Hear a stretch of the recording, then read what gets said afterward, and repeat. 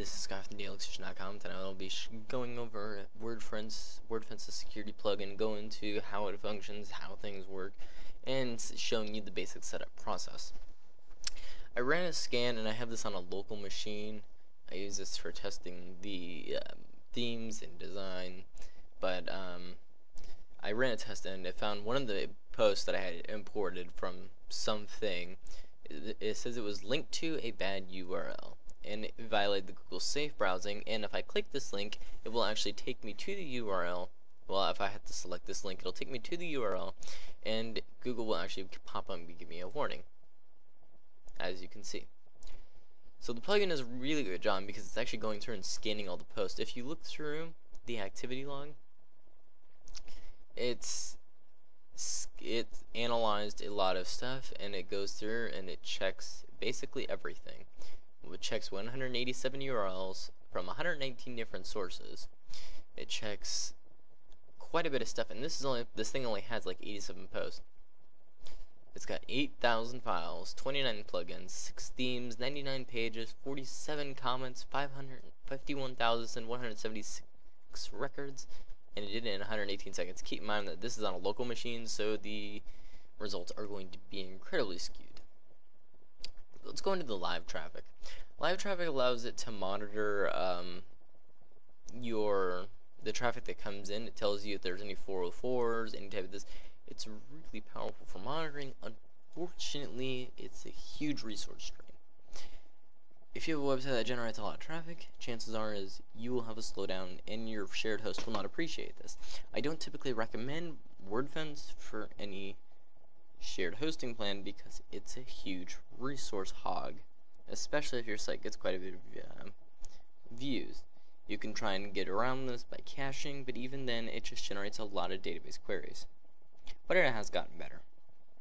If you aren't a shared hosting, you may want to turn this feature off by clicking this button right here, and it would definitely save you some server resources. The performance setup allows you to turn on the caching engine. It's got, it's kind of misleading there's the basic caching engine, and then there's the Falcon engine. And this is an incredibly basic caching system, and it's not nearly as powerful as they make it seem. The plugin, the, by 30 to 50 times, they mean that you can serve 30 to 50 times more traffic in a period. For instance, if you get sent 100 URLs and your server caches, uh, crashes, you have a crappy server for one, but this will actually make it to where you can have a lot more traffic because it's just serving a static file that's been compressed and is easier to handle. Um, it's definitely not better than W3 Total Cache, but it's very simple because you basically just turn this on and you go. Nothing to really configure. Um, typically though, on some sites, if you enable the Falcon engine, you may have issues, things may break, so it's not always recommended. If you can't get it to work on your site, then turn it off. The blocked IPs function allows you to block a range of IPs from either logging in or accessing the site entirely, or they were throttled because they were trying to access the site too many times. Again, this can slow things down. The password audit allows you to go through and check all your passwords. Um, audit user level, less extensive against the dictionary, approximately 50,000 passwords on all WordPress accounts. Um, this right here is going to check all the passwords. The it'll check the administrator accounts and against a huge dictionary. The user level accounts are not as extensive because when they're users, you can you can change the password whatever you wish, and it's harder to get them to change. Or you could just audit all the WordPress accounts in general and see what comes up. Cell phone sign-in is a premium feature of the plugin, but it essentially allows you to set up a cell phone. Keep in mind that this is also pretty resource intensive. Country blocking allows you to block a, a range of IPs from a certain country. They have a huge list right here, and it will block it. Um, Note that we use an IP2 country database that is 99.5% accurate, meaning that there's a point oh, there's a 0.5 chance that you are blocking someone out. As someone has an IP from a proxy that's in China and you block China, well, they're going to be blocked out. The scan schedule allows you to choose how often or when WordPress should uh, WordFence should scan. You can do manually scheduled scans, um, or it'll automatically scan them. If you do the automatic, do the manual, then it's going to tell you that you should do a manual scan, and it will let you know. If you do the automatic, it'll do that. I don't recommend doing this feature too frequently as it can be incredibly resource intensive, especially if you have a lot of things such as BuddyPress or just a ton of posts and content for it to go through. Therefore, I mean, I, I only recommend you doing it on the weekends would be a good one. See? Saturday and Sunday, and I would actually turn off Sunday and only do it on Saturday. In fact, depending on when your site gets viewers, I would turn it to a time when they're not on because it can take a lot of memory and it's a long process depending on how much stuff's on your website. So I recommend going onto here and saying when are users going to be least likely on your website. Well, I don't want to be up at 1 a.m. on a sun Saturday morning. So actually Saturday is when we're going to stay up all night. So no one's going to be up at 11. No one's going to be up at 1 a.m. on a Monday morning because they're going to have work. So we can just assume that that's at a target time and then we can save it to schedule that scan. The whois lookup allows you to look up IP addresses and see the who is information, very basic. The advanced blocking allows you to do an IP address range, a user agent, a referrer from a bad website. You sometimes you'll get a lot of traffic from bad websites that are just referral spam. This is a great way to cut down on that. And the other thing is in your options menu, you have a lot of basic options. You're going to have a free API key, and you can upgrade to get new features. Um, there's not a whole lot of premium features, but when they are, they're pretty useful. When doing a scan, we'll check with spam services if your website IP address listed as a known source of spam mail. If it does, then you'll be able to work on it. If your website has been spamvertised, then you can work on solving that and advanced comment and spam filter that can also be fixed. Um, enable the live traffic view. This option enables live traffic logging. This is huge in resource, hugely resource intensive, and I don't recommend running it.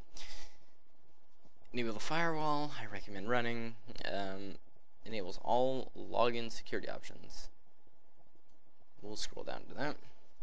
The automatic and scheduled scans. I just say regular scans. Um, you have the automatic scan 1 a.m. on a Monday morning when nobody's there and automatically update WordPress. I don't recommend running this. Typically, if you're going to use a site, you will update the plugins manually, and there's plenty of other tools that will allow you to update it automatically, so there's no real need for that. The security level, um, light protection, it goes from level 0 to level 4. Lockdown would be as if your site's having a DDoS attack. I would pop this in that scenario. You can also do custom settings, but we're not going to bother with that. We'll scroll down for more. So, how does the Word WordFence get IPs? You can do a couple things. You can use the Cloudflare HTTP header to get a visitor IP. That is good because if you're using Cloudflare, you should use this. And I wouldn't recommend this Use PHP's built-in remote adder, very secure if the site is compatible. It's not always compatible. Only use if you have front-end proxying. This should not be used. Now, truly, if you're using Cloudflare, I wouldn't see the need of using WordFence at all, but if you are and you're using WordFence, then by all means use the Cloudflare CF connecting IP. The advanced options, you can configure the alerts, the email summary, but we're more interested in this stuff down here. Scans to include. So these are what will be included in your scans. Scan for malicious files. Scan plugin files against repository versions for changes. If your files have been changed before an update, then this can mean that something's gotten into the plugin and is modified to be malicious. This is a great way to check against that. Check this. Scan the theme files against repository versions for changes. It's again, it's the same thing. If you get your theme from the WordPress repository, it'll check it if something's been modified that isn't a good sign or has been modified that you, outside of your knowledge. Then this can be a sign of uh, malware or a hacking attempt. Scan files outside of your WordPress installation. If you're on a local host, by all means, do not do this because I don't even know what's going to happen. Scan image files as if they were executable. This can, whoop, we don't need that. this can be a useful tool, but again, it's going to add a lot more processing time. Enable high sensitivity simply means that it's going to it's going to be more sensitive. It's if it's finds anything that looks odd or run or unchanged, it's going to say whoa whoa whoa. Even if it's something slight, like you change something minor, it could result in a false positive, like saying instead of he, it's he's, and some. It's a really crappy example, but it's just something simple for you to understand. And if you add it, it's more likely to give you a false positive. Immediately block fake Google crawlers. I actually recommend that. But verified Google crawlers can have an unlimited time. If anyone's requests exceed unlimited, basically if they're trying to do something absurd, like they're trying to do 32 requests per second, that would be a sign of a potential threat and I would throttle it or block it. If 404s for unknown vulnerable URLs exceed this many, basically you can do a lot with the firewall rules. Again though, I prefer using something like Cloudflare where I can manage it at a higher level than this. Actually, force all members to use strong passwords should be the set. Everybody should have a strong password on your website, but chances are you're not going to have that, so only force the admins and publishers to use it so that we are not hindering your users. Um, hide the WordPress version. Um, you can enable this, but you may be blocking legitimate requests sometimes. And the rest of these settings are fine. Start all scans remotely. No, don't bother with these. And of course you can uh, export your settings. So WordFence is a really nice plugin because it's got a lot of powerful features, but in the end, it can slow the website down, especially if you're on your shared hosting. If you're on a shared hosting, I recommend dropping WordFence entirely because it's going to hinder your website load time and your host will go spar at you. They will be mad and you will get in trouble. So thank you very much for watching. Please stay tuned for the next video. If you have any questions, comments, concerns, put them below and I'll answer them. See you next time.